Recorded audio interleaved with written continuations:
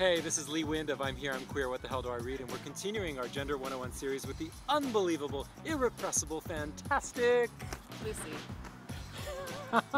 Wait, such a build-up and then you just go Lucy.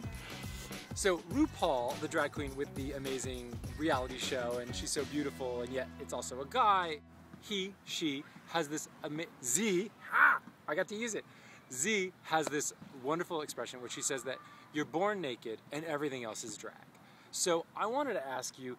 You present visually with elements that are both traditionally male and female, which puts you solidly in the gender variant part of the galaxy of of gender. And I wanted to ask you if you woke up tomorrow and you had had you had been abducted overnight by aliens and they had you know completely refigured your exterior body to be very um, very traditionally feminine.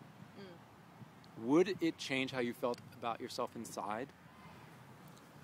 I think that on some days that it would authentically express how I feel. I think that as someone who has to fight so hard in terms of presentation in order to get my androgyny respected, that it's often very difficult to take a step back in, in well, it feels like taking a step back in the eyes of the world into femininity because then it'll be a I got your moment, you know, you really just fit into these boxes just as well as I do as everyone else. So that that is a challenge. Um, what if the aliens uh, the next night changed you into externally uh, uh, what would be considered masculine yeah.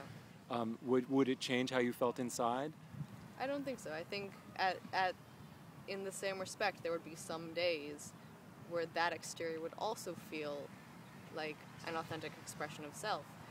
But in both cases, a lot of the time, I would just my skin would be crawling. You know, just wanting to express something different and express something that has the ability to shift and, and the ability to be a bit more flexible. Well, I just want to say I'm glad those aliens aren't coming because you're beautiful just as you are, and um, and is beautiful okay to use? I'm okay with that. Okay.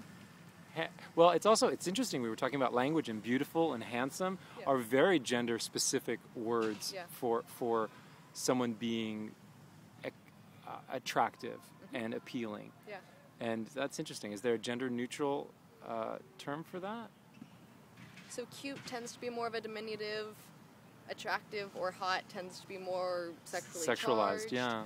Um, so often my partner and I will just use handsome and beautiful in succession towards each other. Okay. Well, great. Well, I think you're handsome and beautiful. And I thank you so much for sharing all this with us.